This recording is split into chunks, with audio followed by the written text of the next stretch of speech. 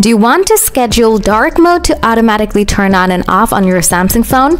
Look no further. In this video, I'll show you how you can schedule the dark mode to automatically turn on and off on your device. So, let's get started without any further delay. First, go to the settings, then scroll down a little bit. After that, tap on the display, then tap on dark mode settings. Now toggle on the turn on as scheduled option. Here you can see the two options sunset to sunrise and custom schedule. If you choose sunset to sunrise option, then your dark mode will turn on automatically based on your sunset to sunrise time. If you tap on custom schedule, then you can select your time as you want.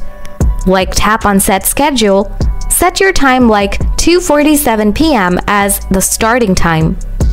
Then tap on end option from the right side of pop-up. Now set 2.48 p.m. and then tap Done. Here, you can see it switches to dark mode. Wait for a minute. Boom, it switches to bright automatically after a minute. So guys, this is how you can schedule dark mode to automatically turn on and off on your Samsung phone.